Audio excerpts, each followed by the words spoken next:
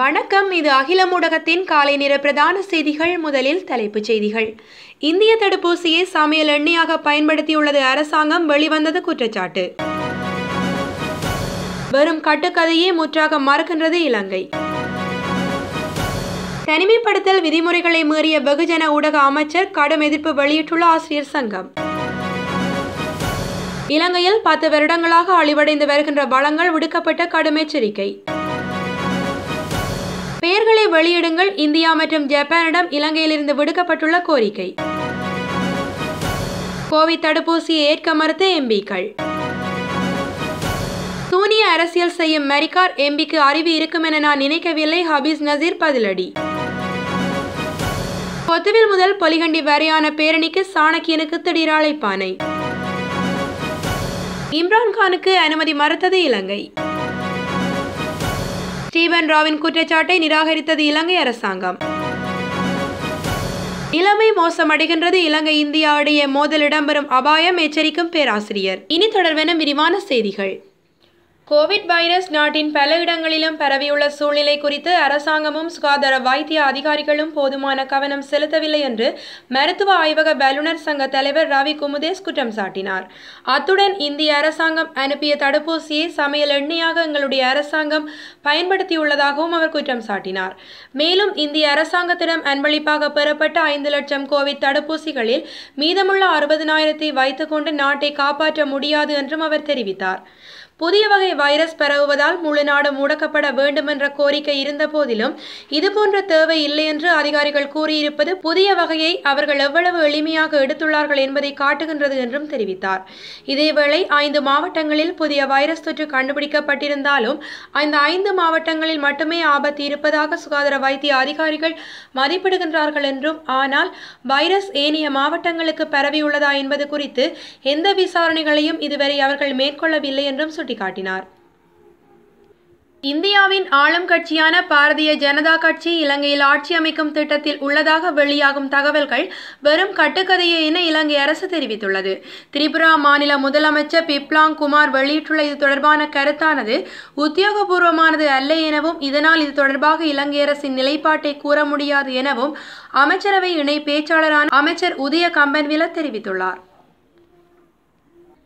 தனிமைப்படுத்தல் விதிமுறைகளை மீறி வெகுஜன ஊடக மற்றும் தகவல் அமைச்சர் மரநடுகை நிகழ்வில் ஈடுபட்டமைக்கு ஆசிரியர் சங்கங்கள் கடும் எதிர்ப்பை வெளிப்படுத்தியுள்ளன. பாடசாலைகளில் நடாத்தப்படும் அனைத்து விழாக்களையும் மறு அறிவித்தல் வரை நிறுத்தி வைக்குமாறு கல்வி செயலாளர் உத்தரவிட்டுள்ள விடயத்தையும் இலங்கை ஆசிரியர் சங்கம் சுட்டிக்காட்டியது. பாடசாலைகளில் நடத்தப்படும் அனைத்து விழாக்களையும் மறு அறிவித்தல் வரும் வரை நிறுத்தி வைக்குமாறு அனைத்து மாகாண வலய கல்வி அதிகாரிகள் மற்றும் அதிபர்களுக்கு கல்வி அமைச்சின் செயலாளர் நேற்றைய முன்தினம் அறிவுறுத்தினார். இதேவேளை தொற்று நிலவும் ஆபத்தான மற்றும் பாதுகாப்பற்ற நிலைமைகளுக்கு மத்தியிலும் பல்வேறு பாடசாலைகள் பல்வேறு விழாக்களை நடத்தி வருவதாகவும் விழாக்களை ஒழுங்கு செய்வதற்கான நடவடிக்கைகளை மேற்கொள்வதாகவும் தகவல்கள் கிடைக்கப்பெற்றுள்ளதாக கல்வி அமைச்சின் செயலாளர் தெரிவித்தார். இதேவேளை நாட்டில் நிலவும் தொற்று நோயை எதிர்கொண்டு கல்வி செயலாளர் பிறப்பித்த உத்தரவை அமுல்படுத்த மாகாண கல்வி அதிகாரிகள் நடவடிக்கை எடுக்க வேண்டும் எனவும் நாட்டின் முன்னணி ஆசிரியர் சங்கங்களில் ஒன்று வலியுறுத்தியுள்ளமை குறிப்பிடத்தக்கது. இலங்கையில் கடந்த பத்து வருடங்களில் நீரிலும் நிலத்திலும் வாழக்கூடிய பெரும்பாலான உயிரினங்கள் அழிவடைந்துள்ளதாக தெரிவிக்கப்படுகின்றது. அழிவடைந்த சுமார் முப்பத்தைந்து உயிரினங்களில் இலங்கைக்கு உரித்தான இருபத்தி ஒரு உயிரினங்கள் உள்ளடங்குவதாக தெரிவிக்கப்பட்டுள்ளது.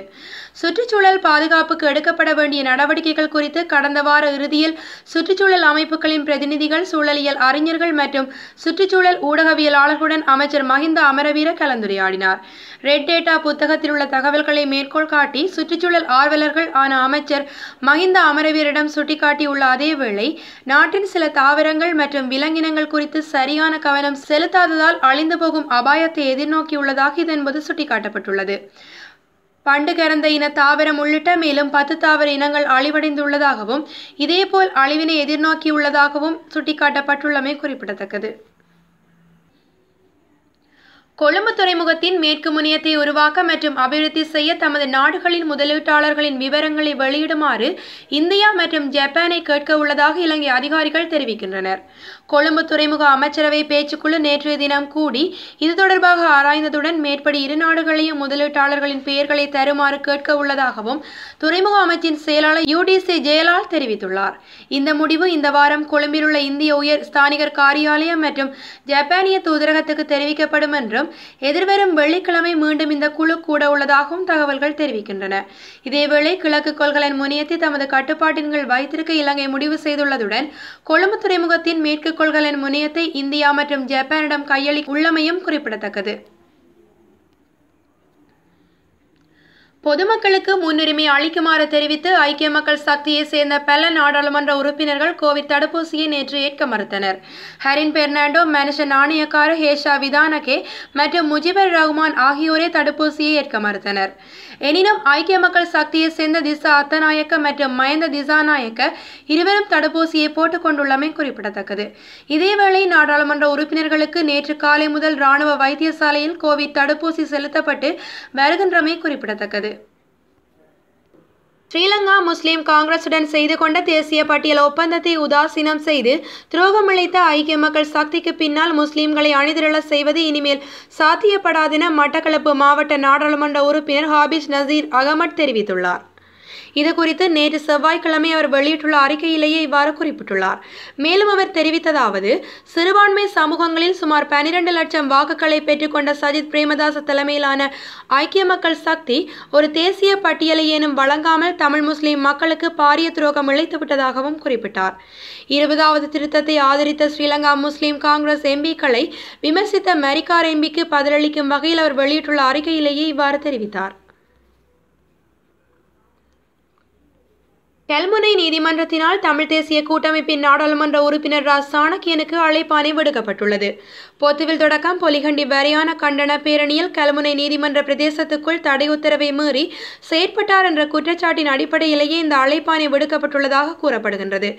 இதேவேளை குறித்த அழைப்பாணை நேற்றைய தினம் தமிழ் தேசிய கூட்டமைப்பின் நாடாளுமன்ற உறுப்பினர் ரா சாணக்கியனிடம் போலீசாரால் கையளிக்கப்பட்ட அதேவேளை இதன்போது கருத்து வெளியிட்ட அவர் நேற்று கல்முனை நீதிமன்றத்தால் எனக்கு அழைப்பாணை விடுக்கப்பட்டுள்ளது என்றும் நீதிமன்ற தடை உத்தரவை மீறியதாக தெரிவித்தே இந்த தடை உத்தரவு வழங்கப்பட்டுள்ளது என்றும் உண்மையிலேயே நான் எவ்வாறு நீதிமன்ற தடை உத்தரவை மீறினேன் என எனக்கே தெரியாது என்றும் குறிப்பிட்டுள்ளார்.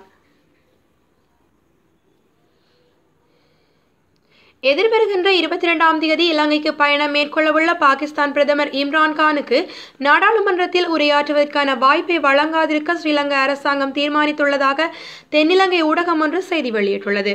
ராஜதந்திர மட்டத்தில் எழக்கூடிய நெருக்கடிகளை காரணம் காட்டி அரசாங்கம் இந்த முடிவை எடுத்திருப்பதாக தகவல்கள் தற்போது கசிந்துள்ளன. இலங்கை வரும் பாகிஸ்தான் பிரதமர் இம்ரான்கான் இரண்டு நாட்கள் இலங்கையில் தங்கவுள்ள நிலையில் அவர் அரசு தலைவர்கள் பிரதமர் உட்பட உயர்மட்ட பிரமுகர்கள் பலரை சந்திக்க உள்ளதாக தகவல்கள் தெரிவிக்கின்றன. இதேவேளை பாகிஸ்தான் நாட்டு பிரதமர் அல்லது உயர்மட்ட அரச பிரமுகர்கள் இரண்டாயிரத்தி பதினாறாம் ஆண்டுக்கு பின்னர் இலங்கைக்கு விஜயம் செய்கின்ற முதல் சந்தர்ப்பம் இதுவென்பதால் இம்ரான்கானின் விஜயத்துக்கு பெரும் முக்கியத்துவம் அளிக்கப்படுகின்றமை குறிப்பிடத்தக்கது. யுத்தத்தின் இறுதியில் சரணடைந்த விடுதலை புலிகள் மற்றும் இயக்க உறுப்பினர்கள் சுட்டுக் கொல்லப்பட்டார்கள் என ஜனாதிபதி கோட்டபாய ராஜபக்ச தெரிவித்தார் என அமெரிக்காவின் யுத்த குற்ற விவகாரங்களுக்கான முன்னாள் தூதுவர் ஸ்டீபன் ராவ் தெரிவித்துள்ளதை ஜனாதிபதி அலுவலகம் நிராகரித்துள்ளது. நடைபெறவுள்ள ஐக்கிய நாடுகள் மனித உரிமை பேரவையில் இலங்கை விவகாரம் தொடர்பிலும் கலந்துரையாடல் ஒன்று நடைபெற இருக்கின்றமை தொடர்பாக ஸ்டீபன் ராவ் கருத்து தெரிவிக்கும் போது இவ்வாறு குறிப்பிட்டார். இந்நிலையிலேயே அவரின் கருத்துக்கு மறுப்பு தெரிவித்துள்ள ஜனாதிபதி அலுவலகம் ஆதாரமற்ற குற்றச்சாட்டு இது என்று தெரிவித்துள்ளதாக செய்தி ஒன்று வெளியிட்டுள்ளது. ஜனாதிபதி அலுவலகம் இவ்விடயம் தொடர்பாக மேலும் கூறியுள்ளதாவது யுத்த விவகாரங்களுக்கான அலுவலகத்திலிருந்து ஓய்வு பெற்ற ஏழு வருடங்களின் பின்னர் ஸ்டீவன் ராவ் அவ்வாறான குற்றச்சாட்டை முன்வைத்ததன் நோக்கம் என்ன என்றும் கடந்த இரண்டாயிரத்தி பன்னிரண்டு தொடக்கம் இரண்டாயிரத்தி பதினைந்தில் இலங்கைக்கு விஜயம் மேற்கொண்ட ஸ்டீவன் ராவ் தற்போது ஜெனீவா அமர்வினை அடிப்படையாக வைத்து இந்த அதிர்ச்சி தரும் குற்றச்சாட்டினை முன்வைத்துள்ளார் என்றும் இதேவேளை இலங்கைக்கு களங்கம் ஏற்படுத்தும் ஒட்டுமொத்த முயற்சியின் ஒரு பகுதியாகவே இவை பார்க்கப்படுகின்றன என்றும் தெரிவித்துள்ளனர். இலங்கை இந்தியாவுக்கிடையில் மோதல் ஏற்படுவதற்கான அபாயம் உள்ளதாக அமெரிக்கா சாலிஸ்பரி பல்கலைக்கழகத்தின் பேராசிரியர் கீத பொன்கலம் தெரிவித்துள்ளார். இவர் மேலும் தெரிவிக்கையில் இலங்கையுடனான இந்தியாவுக்கும் சீனாவுக்கும் இடையிலான போட்டி பாரதூரமாக தற்போது காணப்பட்டு வருகின்றது என்றும் சீனா பாரிய முதலீடுகளை இட்டு வருவதாகவும் அதற்கு ஈடாக இந்தியாவும் பல நடவடிக்கைகளை தற்போது மேற்கொண்டு வருவதாகவும் சுட்டிக்காட்டினார். இதேவேளை இந்தியாவின் அழுத்தங்களுக்கு முகம் கொடுக்கும் இலங்கையின் நிலைமை மோசமடைந்து வருகின்றமையால் இலங்கை இந்தியா மோதல் ஏற்படும் வாய்ப்புகள் அதிகமாக தற்போது உள்ளதாக அவர் மேலும் தெரிவித்துள்ளார். இதுபோன்ற செய்திகளை உடனுக்குடன் அறிந்து கொள்ள அகில ஊடகத்தோடு இணைந்திருங்கள். நன்றி.